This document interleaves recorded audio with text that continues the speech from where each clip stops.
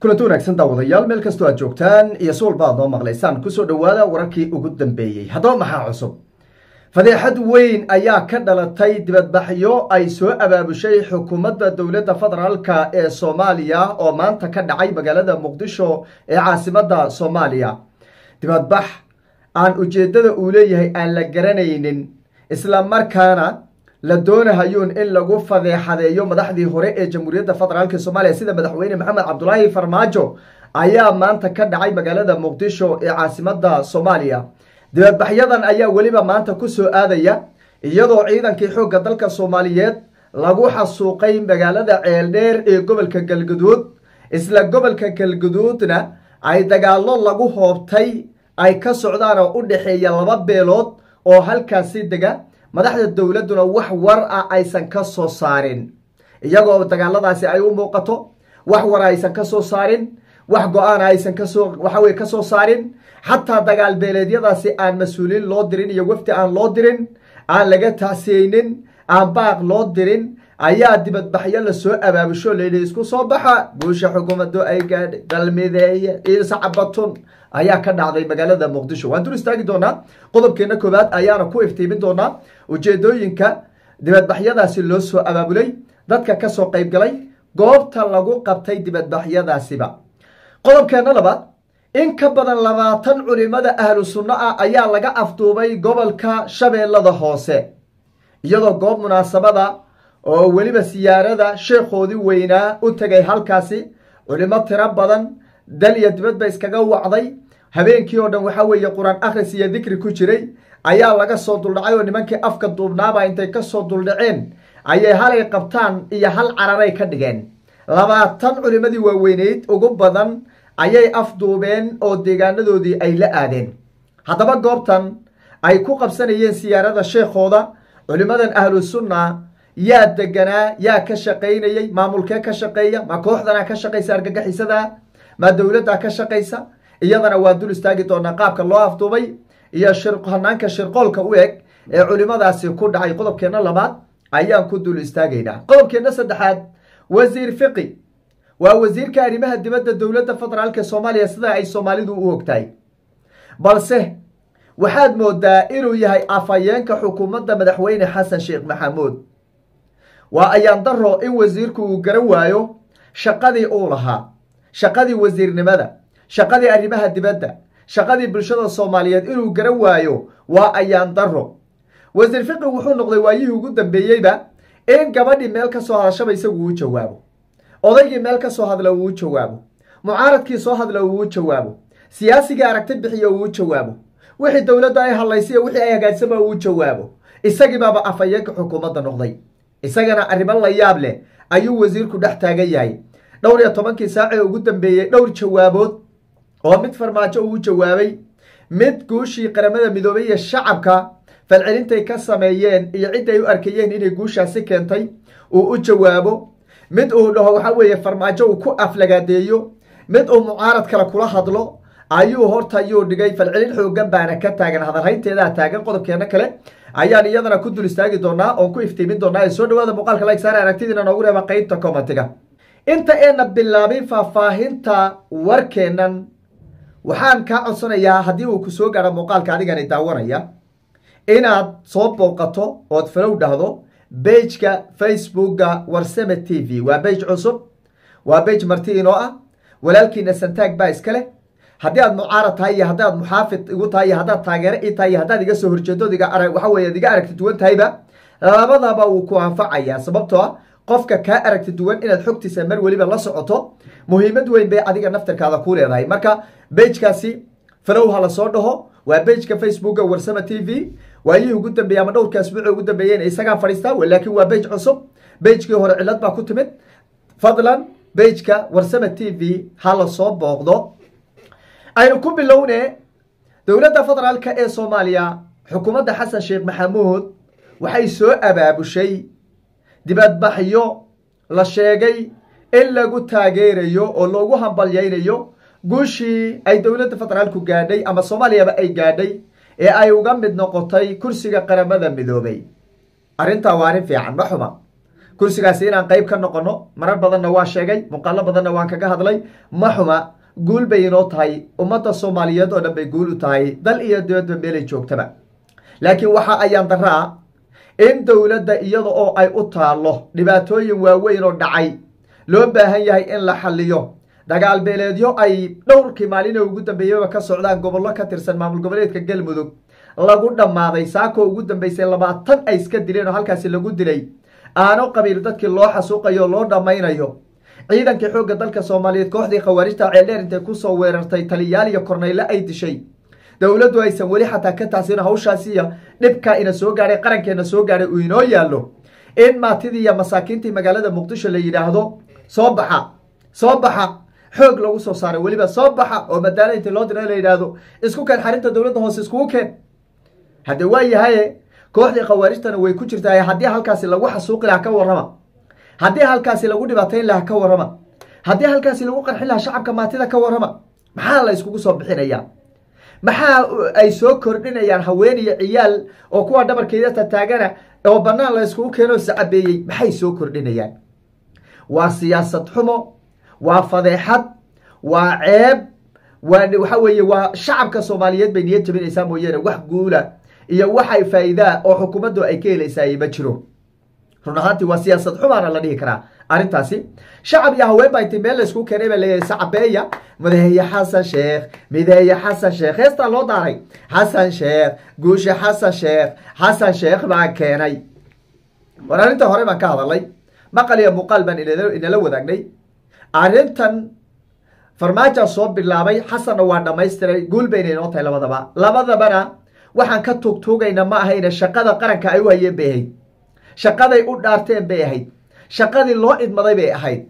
Marka labaduba midna waxa weeye abaal gaara ma siinayno sababtoo ah isaga shaqadu lahaa un buu qabsado inta kale uu qabsan waayeen ku eedaynayna ee qabsan waayeenna. Dee eed bay ku leeyihiin oo waa ku eedaynayna waxay qaban waayeen oo aysan qabanin. Ama ay waxa weeye ay daciifnimo iyo meel waxyaabo kale musuq maasuq iyo waxay baajiyeyba ay u qaban waayeen. Si kastoo u qaban waayaanba waa eedoodana waan sheegayna wanaagoodana waan sheegaynaa shaqada farmaaja soo bilaabay qaramada midoobay xasanna waa dhammaystiray. Labadoodana waa ku mahadsan yihiin. Haddaan dhinaca kale ka eegno ummadda soomaaliyeedna guul bay u tahay. Laakiin waxaan leeyahay shacabka soomaaliyeed yaan halaag iyo dhibaato la gelinin yaan musiibo waxa weye loo horseedin dibadbaxyada aan muhiimad ku fadhinin weyn ha laga daayo. Waxaa fiican markii shacabku sidan oo kale u dooda hadda sidan hadda etoobiya oo kale dulmiga ay nagu soo qaaday nagu soo weerartay oo kale u dibadbaxa la dhihi karaa shacabku. Waa mujaahidiin qofka xataa wax noqdo. Laakiin tallaabadan qaadaba dastuur yar baan waxeeye ii dibadbax ii sacabe haye. Qodobka labaad baan gaadhay haye. Ii sacabe isku soo bixiya dadka. Meel hebland waxa weeye guddoomiye u magacaabay. Ii sacabe guul baan gaadhe dal hebel baan heshiis la galay. Ii sacabe war waxaan war waxaan maana arki jirina waaba ceebta inta leeg. Ceebta inta leeg. Maxay tahay waxa siyaasad maaha. Waxa siyaasad maaha. Waxaan u malayn meesha carruur baa haysataan u malaynaya. Ku yaroo adeer aan u haybaa wuxuu dhihi jiray. Markaan waxa weeye wax aanu ii keenoo kale ama weelka isoo qaan waxa isoo qaan mahadsanidi dheh mahadsanidi dheh. Marka mahadsanidi dhehdi weeyo maanta xasan sheekh dhaamac xukuumaddiisu waxa ay ku socoto. Taasi waa dibadbaxyada waa dibadbaxyo run ahaantii micno weyn aan ku fadhinin. Wakti xaadirkana aan loo baahnayn. Wakti aada u adag oo ciidankeeni meydkoodu iyo dhaawacoodu uu daadsan yahayna ay ku soo aaday. Oo haddana weliba dagaal beeleedyana ay socdaan. Xukuumadda dowladdu beddelkay meeshan abaabuli lahayd ee dibadbaxyo haween iyo carruur ay abaabuli lahayd. Waxay ahayd in dagaaladaasi laga qayb qaato siyaasiyiinta dhan ay tagto wafti ay dirto dadkaasi dhiigooda waxa weye la kala badbaadiyo la qaboojiyo kuwa maamul waxa weeye dagaal beeleedka ee beelahee dagaalamaya kuwan kale argagixisadaana gurmad loo fidiya ayay ahayd. Taasi waxa weeye waa dibadbaxyadii maanta. Wasiirkan marka ku horeyn intaana culimada u soo gudbine wasiirka arrimaha dibadda aan u malayn inuu ugu magacaaban yahay wasiir fiqi axmed macalin fiqi. Axmed macalin fiqi horta wasiirka arrimaha dibaddan u haysanaa inuu yahay. Laakiin waa afhayeenka xukuumadda madaxweyne xasan sheekh maxamuud. Waayihii ugu dambeeyey amastay isay xukuumaddan u dhalatayba. Gabar yar baa hadli isagaa ka daba hadli u jawaabi siyaasi baa hadli isagaa u jawaabi. Mucaarad baa hadli isagaa u jawaabi. War waan yaabnaye? Waan yaabnaye? Ninkan macalin dugsiga wasiirka arrimaha dibadda la yidhi layidhi bal wax yar intii loo dhigo oo weliba habargedinay ninkaas basaabaad haysataan oo maanta hadda wax xil weyn isagaa inii hayee. Bal ilmaadaryaalu ninkaasi bal intaad wax u yeedhisaan u dhigtaan shaqadiisa tusiya. Haddii xukuumadda xasan ay sidan raalli uga noqotay inuu gabadhii hadashiya foodleyda hadashada uu jawaabo war ninka waa nin weyn oo oday ahe nin macalin dugsi muddo badan soo ahaana weeye. Aathaartiina xoogaa ay ka yara muuqatee shaqada ubaa ka wereertay xumaan kale waxaan u malay inuu qabine. War ninkan bal intaad la hadashaan shaqadiisa tusiya. Axmed macalin fiqi shaqadiisa tusiya. Warqadii guushan qaramada midoobay ee waxa weeye soomaaliya maanta ay gaadhay. Ayaa maalmihii ugu dambeeyey waxaa si weyn uga falceliyay shacabka soomaaliyeed. Waxaa la isku haystay farmaaja guushan keenay iyo xasan baa keenay.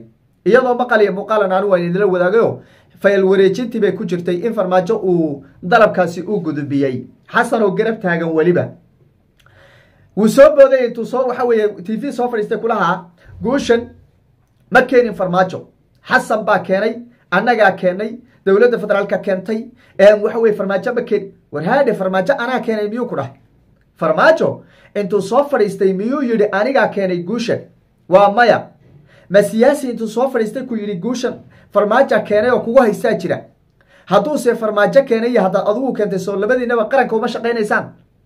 Maxayse kuu taraysaa inaad maanta adoo nin weyna oo siyaasiya oo wasiir arrimo dibadeeda oo muxaafid iyo mucaaradba wasiir u ah inaad intaad soo fadhiisato? Aad tiraahdo guusha anaa keenay guusha keenay farmaajo ma keenay lama siin karo aad tiraahdi war waxaan oo kale taa iska jooga. Ninkan oo kale ayaa iska jooga. Marka abargidina idinka ku ceebaysan anuu isaga waxba dhihi maayo.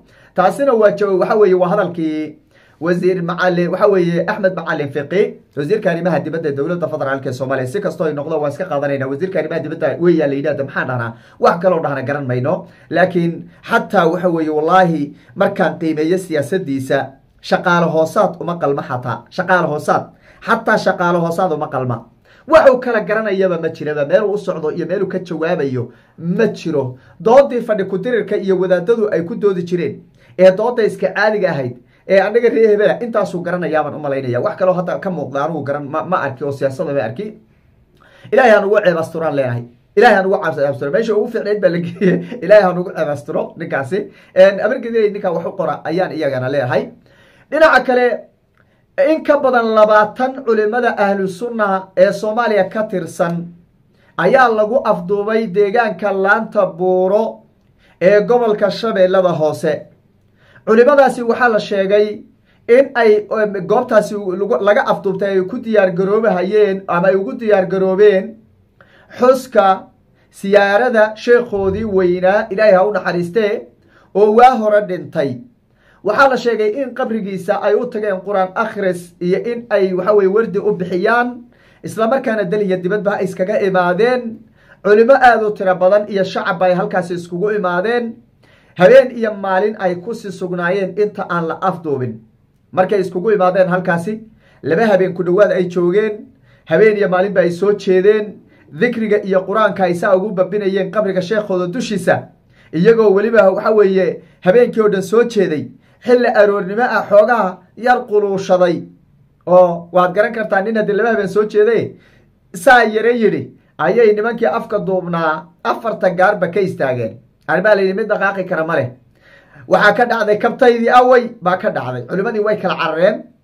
Labaatan ka mid a haddaysan ka badnayn culimadaasi ayaa la xaqiijiyey in ay afduubteen oo kooxda ay wateen. Waxaa baraha bulshada la soo dhigay iyagoo ay xarko ku xidhxidheen. Xarko wadaadadii waxa weeye qabay tusbaxda watay khamiisyada qabay oo ayagoo weliba sidoodii haddana khamiiska ma laga siibin khamiiskoodii qaba oo ahaartoodii iyo culimanimada waxooda ka muuqatay xarka intay ku xidhxidheen bay wateen. Kaaralaha kurida nimankan waxay dhaafayaan ma jire nimankan iska ari qalanaya iska xoora qalanaya waxa weye iska dikrinaya maxay ka rabaan? Maxay ka rabaan? Wax ibaanka alla ka qaaday. Wax ibaanka alla ka qaaday weeye. In ka badan labaatan bay afduubeen oo ilaa iyo hadda gacanta kooxdaasi ku maqan. Inti badnaydna ooda ayay jabiyeen oo way kala carareen. Marka labaatankaasa dabcan yaa waxa weeye dhaqaaqi weyday baa gacanta lagu dhigay oo qoladaasi ay gacanta ku dhigeen. Hadalhayn weyn baa ka taagan ilaahay cadowga ha ka soo daayo culimadaasi. Ahlu sunna qacba ka yeedhay oo nimankaasi ay maanta gaadhsiiyeen laakiin ways yaqaanaano waa rag aargoosta ahlu sunnuhu aad bay dagaalka ugu fiican yahin xagga dagaalka markii la dhaho shabaabka iyaga aad iyo aad ugaga fiican. Aad iyo aad iskumaba dhowaba. Marka maalin iyo habeen ma wada dagaalami karaan. Marka abaabul baa socda walow lagu eedaynayo ahlu sunnaha halkaasi tegey ee ee goobta tegey goobta ay ahaydba goob nimankan ay ka taliyaan. Goobta ay nimankan siyaarada ku dhiganayeen. Ee ah ah ah ah ah ah ahdiyo dikriga ay la imaadeen. Niman baaba joogo oo ka taliyaba. Marka niman goob ay ka taliyaan ayay inta imaadeen bay baashooda iskaga qabsadeen. Ee baashooda ku qabsadeen. Marka dee qoladana ma ogola in ka badan labaatan baa la afduubay si kastoo noqotoba xaalad adag baa deegaanadaasi ka taagan. Oohinta ayaa socota waxaa laysku hadalhayaa labaatanka may dili doonaan may soo dayn doonaan say yeeli doonaan ayaa laysku hadalhayaa walow ay jiraan dadka deegaanka odayaal maadaama ay deegaanka halka laga afduubay ay qoladan u xoog badan yihiin. Odayaal baa loo dirayna la leeyahay waynu eegi doonaa isha ayaan ku hayn doonaa ilaahay cadowgaa ka soo daayo culimadaasi masaakiinta meelahooda digriga iska watay nimankan hubaysan ee dhigislaanqabayaashe gacantoodan kor loo qaaday inay wax dilaan mooyeen qoortun dadka ka wada biraynaya. Ilaahay ha ka soo daayo ilaahay ha ka soo daayo. Aaminta ugu soo dadaala culimadaasi. Wadaadadan sidaad wada ogsoon tihiin baa ahlu sunnuhu. Waa dad waxa weeye nabadeed weeye. Dad nabadeed weeye. Dowlad haddaad ku kordhisato oo digrigoodii howlahooda u dayso kugu saqarjaami mahayaan walow kuwa galmudug ay xoogaa yar waxa wey ay xoogaa niman inkaaran yihiin oo siyaasadda barto xoogaa dhadhamiyey. Lacagtii siyaasadda ka soo dhacaysa dhadhamiyey. Laakiin guud ahaan markii laga eego nimankan suufiyaasha waa dad nabadeed weye nabad weeye. Meeshay joogaan waa nabad. Siyaasad kugu qabsan mahayaan xilisay ku dhihi mahayaan waxba kugu faragelin mahayaan kaalay qur'aan iyo akhriumaadiyo tusbuxuu laba jeer ku wareejinayaa waxa weeye marka waa niman nabadeed weye nimankan kalena waa niman gacanta dhiig ku wata weye dhiig. Toori bay wada wataan. Maba salaada maba tukadaan raggii laqaqabtay waad arkayseen salaadaha maba tukadaanba. Ma tukadaan wejiga gubma siiyaan. Marka aad iyo aad bay nimanka u kala duwan yihiin. Marka bal aan u soo ducayna nimanka masaakiinta ee ahlu sunna ilahay inuu ka soo daayo gacanta cadowga. Daawadaal wixii ka soo kordho muuqaaladeena dambe ayaan idinku soo gudbin doonaa hadduu ilaah yidhaah